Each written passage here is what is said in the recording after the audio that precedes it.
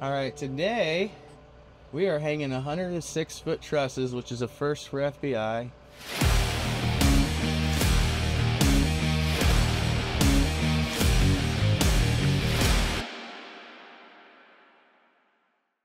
We're at Steel Aviation in Ohio. I am getting ready to hook onto it right now. These trusses are kind of tricky because how big they are. Now that we got this bad boy up, we're to turn this thing around and get ready to back up. We're doing this in a telehandler with our FBI special made uh, strong back bar, which you can't really find out there. We have to custom make them to hang these big trusses like this. Got the truss off about six feet off the ground. That's one of the qualities of our QLYFT system is we can keep these bigger trusses low, which makes it possible to hang these things. Now we're getting to where the pockets are at, so we got to set this big truss in this pocket, which means I have to be about perfect with these guys and in sync with them.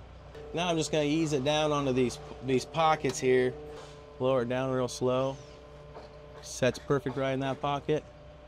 And I'll wait for my signaler, Neil. Neil, am I good in and out? Well, he's to tell me if I'm good in and out. Make sure, make sure that truss is sitting as straight as we can when we put these temp liners and liners on for these guys. He's giving me the all clear that we're good. So now we're set and these guys are gonna fasten this truss and we'll be ready for the next one. Once these guys are putting up a net system right now to make sure these guys are uh, safe and putting on temp liners before we can, because we can't get out on that other truss there. It's not safe to be out there. So we like to uh, put them nets up before they get on that leading truss that we just hung. But they gotta put those temp liners on. You see Neil's putting them on right now. Those are around eight foot center of center truss and we make those right here on site.